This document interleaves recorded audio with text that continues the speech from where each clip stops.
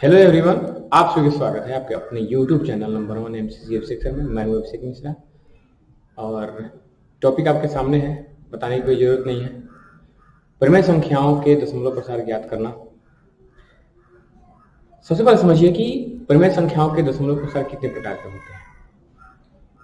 परिमेय संख्याओं के दशमलव प्रसार या तो शांत दशमलव प्रसार हो सकता है या अशांत आवर्ती दशमलव प्रसार हो सकता है। कब शांत होता है, कब अशांत होता है, इसी चीज़ को हम लोग इस वीडियो में समझेंगे। इसी टॉपिक को लेकर आपके सामने आया हूँ।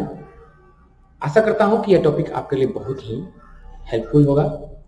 तो शुरू से लेकर अंत तक देखिए और इसे प्रश्न सीखने का प्रयास कीजिए। चलिए आइए शुरू करते हैं। देखिए, सबसे पहले समझिए कि दशमलव प्रसार जो होते हैं,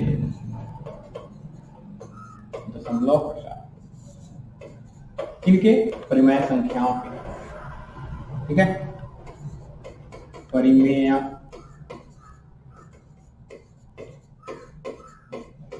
संख्याओं के। दो प्रकार।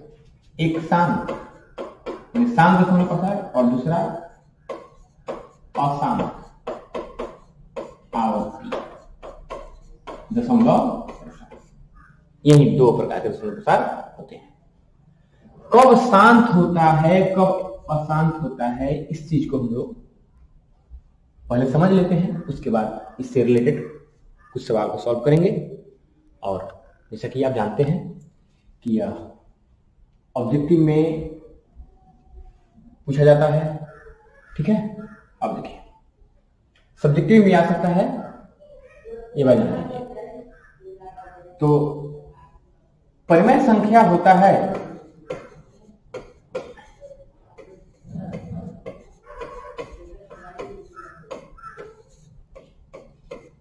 पी बटा क्यू के रूप में।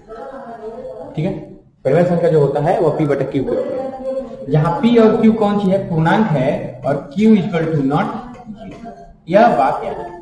पी और क्यू पूर्णांक और क्यू का मान ज़ीरो के बराबर नहीं। ठीक है? अब देखिए, इसमें पी जो है ना इसको हम लोग नमरेटर कहते हैं, यानी अंश कहते हैं, और क्यू इज़ डिनोमिनेटर ठीक है? क्यू क्या है? हर है।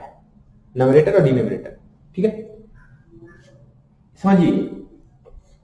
Rule number one rule number one यदि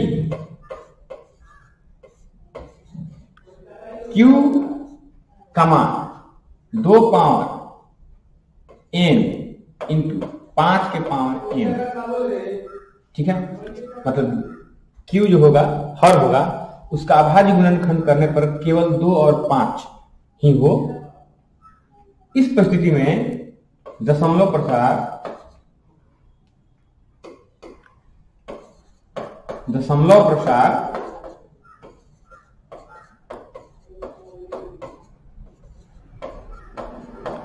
शांत होगा क्लियर ये बात समझ में आ गई? अब देखिए रूल नंबर दो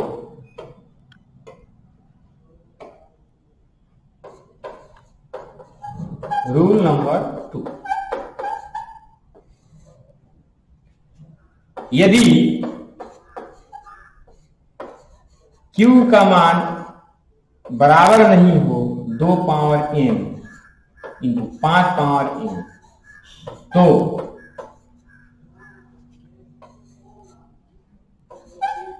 दशमलव प्रसार।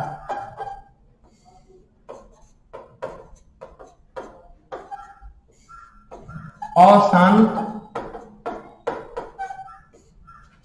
होता है। ठीक है? क्लियर? बात समझ में आ गई? यहाँ पर भी लिख देते होता है। दो रूल याद रखेंगे।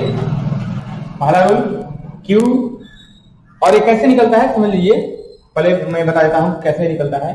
क्यू का हम लोग अभाज्य गुणनखंड करेंगे। और क्यू का अभाज्य गुणनखंड दो और पाँच के रूप में होता है तो उस परिमेय संख्या का दशमलव प्रसार शांत होता है। यदि क्यू का अभाज्य गुणनखंड दो, पाँच भी रहे, अन्य संख्या भी रहे तो उसका दशमलव प्रसार अशांत होता है। क्लियर है? चलिए। अब आगे बढ़ते हैं। क्लियर इसको हम लोग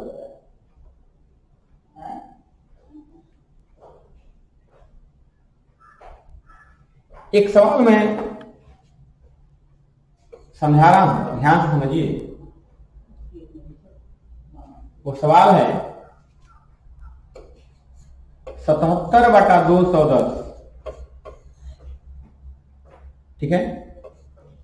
का। दशमलव प्रसार।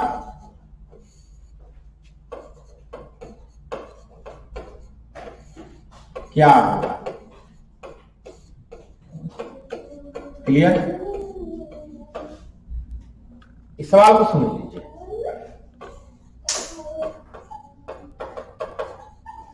सबसे पहले हम लोग इस सवाल को लिखेंगे सतहत्तर बटा है, कितना? 210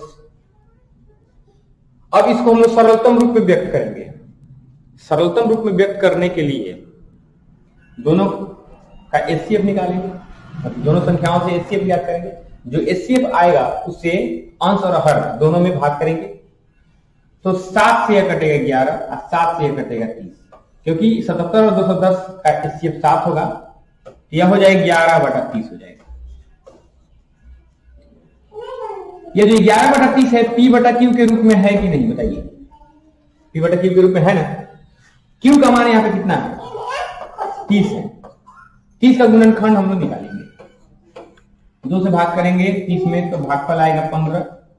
फिर दो से भाग नहीं लगेगा तो तीन से भाग करेंगे। पंद्रह में तो भागफल आएगा पाँच तो उसको नीचे लिखेंगे। क्या हो गया? बोलिए। दो गुना तीन गुना पाँच। ध्यान पूर्वक देखिए। दो और पाँच है। और दो और पाँच के अतिरिक्त जो आपको दिखाई देगा, तीन भी है। दो और पाँच के अतिरिक्त तीन है। अगर केवल दो और पाँच रहता तो इस परिमय संख्या का दशमलव प्रसार शांत होता। लेकिन यहाँ पर दो और पाँच के अतिरिक्त एक संख्या है, वो है तीन। इसलिए हम लोग लिखेंगे क्या? Q इजकल टू नॉट दो का पावर n इंटू पाँच का पावर n. इसलिए दशमलव प्रसार क्या होगा? दशमलव प्रसार अशांत आवर्ती होगा। अशांत आवर्ती होगा। क्लियर बातें समझ में आ गई? अब एक और एग्ज़ाम्पल से हम लोग समझते हैं, ध्यान क्वेश्चन है, परिमेय संख्या परिमेय संख्या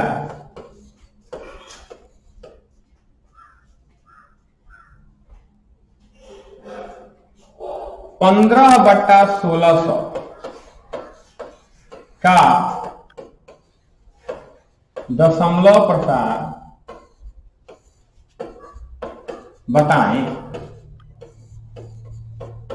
यदि इस तरह के सवाल आप लोग सीख जाते हैं तो बहुत ही हेल्पफुल होगा आप लोग एग्ज़ाम में। देखिए।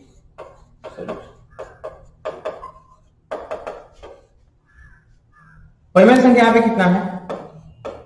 पंद्रह बटा सोलह सौ दिया हुआ है। फिर से इसको सरलतम रूप में व्यक्त करेंगे। अगर व्यक्त होने वाला हो तब। अगर नहीं कटने वाला हो तो फिर हर को लेकर के और उसका गुणनखंड करके बनाएँगे। लेकिन यहाँ पर कटने वाला है। पाँच से भाग देंगे इसमें। तीन और पाँच से भाग देंगे इसमें। पाँच, एक, पंद्रह, पाँच, दस। कितना आया? तीन बटा तीन सौ बीस। और यह जो है P बटा क्यू के रूप में। तो हमें सिर्फ़ मतलब है किससे Q से। Q का वैल्यू कितना होगा? 320 अब 320 का क्या करेंगे हम लोग? अभाज्य गुणनखंड याद करेंगे? दो से भाग करेंगे तो 320 160 दो से भाग करेंगे 320 में तो 160 भागफल आएगा। फिर दो से भाग करेंगे एक साठ में तो अस्सी भाग फलाएगा। फिर दो से भाग करेंगे, अस्सी में तो चालीस भाग फलाएगा। दो से भाग करेंगे, चालीस में तो बीस भाग फलाएगा। दो से भाग करेंगे बीस में तो दस भाग फलाएगा। और दो से भाग करेंगे, दस में तो पाँच भाग फलाएगा।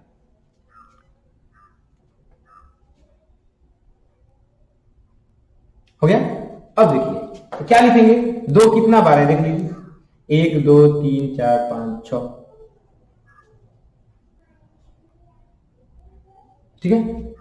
तो दो का पावर छ हो गया इंटू पाँच कितना बार है एक बार है तो पाँच का पावर एक हो गया।